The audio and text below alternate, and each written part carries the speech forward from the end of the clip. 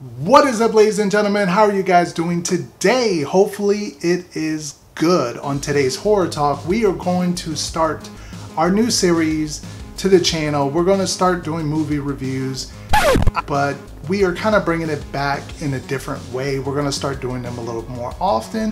What we are starting with is the 1999 horror, I call it horror classic, but it's probably not really a horror classic.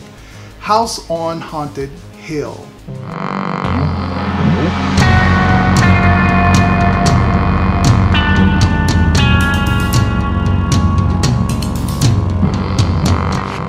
Now, the reason why I'm starting with House on Haunted Hill is because this movie started kind of a cool thing with Warner Brothers and this new production company that they had called Dark Castle Entertainment. Now, the first debut movie that they put out was House on Haunted Hill back in 1999. It was directed by William Malone and it came out on October 29th. So Halloween weekend, great weekend to put out a Halloween movie.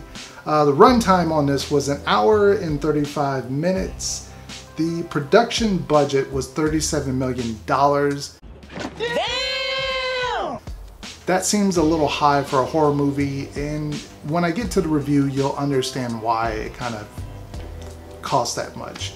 Uh, domestic total, it put out about 40 million so they made their money back before it kind of left the theaters. It is a remake of the classic 1950s starring Vincent Price. It's just updated, some new modern stuff. Uh, they switched out a couple of the characters, but pretty much they kind of kept it very in tune with the remake.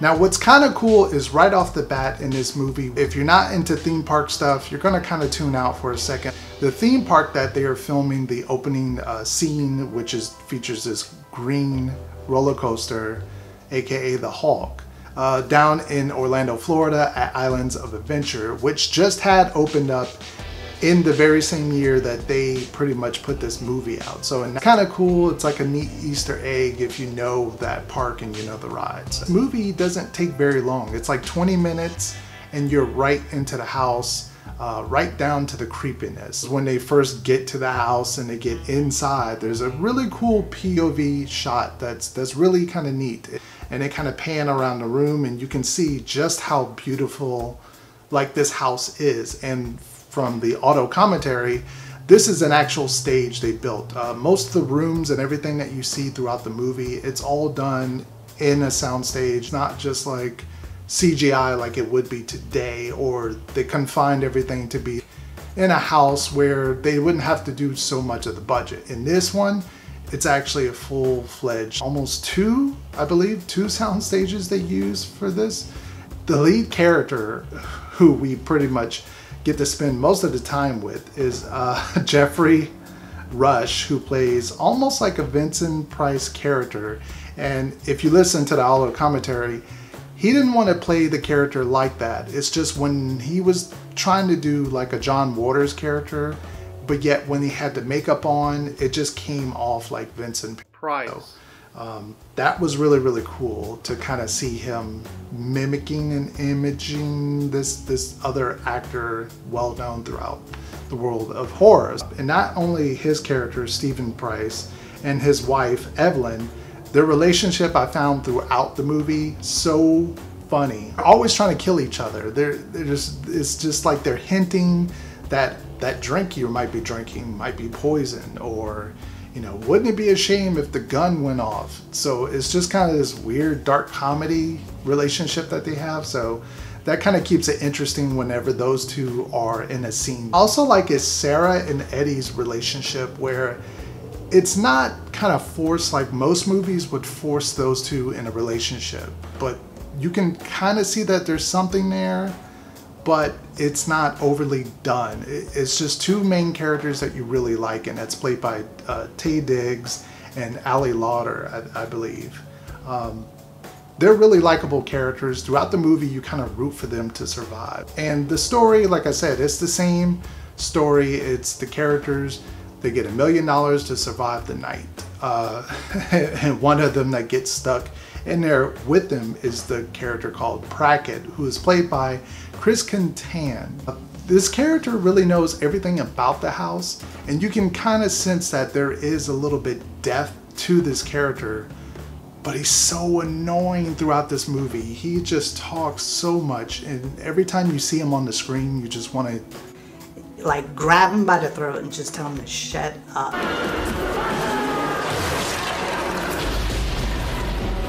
Good hour and 10 of the movie is actually really enjoyable.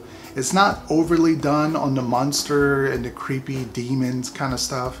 Although they do have this creepy character played uh, who's the lead doctor of this asylum uh, back when it was open. Um, he kind of makes an appearance here and there.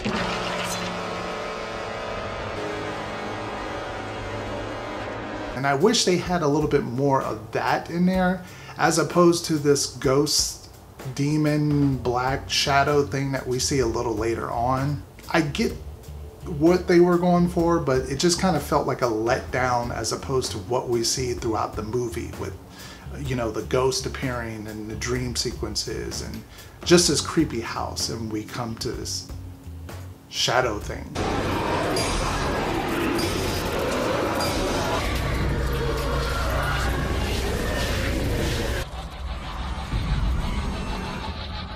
Overall, it's an enjoyable movie. For me, I'm gonna have to give it like a seven. If you have someone that's not really into horror and you kind of want to show them something Halloween related, something kind of scary, it's a perfect movie to throw on. It's not like too overdone, but it's just enough for you to kind of enjoy the journey, especially if you're just starting out October and you want something very light to start off with. I definitely recommend this movie. Like I said, it gets a seven for me overall, I think a 7 out of 10 is pretty solid. What is up guys? Hopefully you enjoyed this movie review on House on Haunted Hill. If you did, leave it down in the comment section, leave this video a thumbs up, and subscribe to the channel if you haven't already. We have more reviews on the way. Next one we will be doing is 13 Ghosts. So if you have it or if it's out there and you want to check it out, check it out. I want to do something to feature you guys' tweets about 13 Ghosts. So stay tuned to my Twitter and I will be posting when that review is going to be coming. So make sure to watch it and then you can leave me your comments and leave some comments over on Twitter about what you think about the movie. That is it for now until I see you guys again. Good afternoon, good morning, good night, whenever you're watching this. Zombie Chris is out.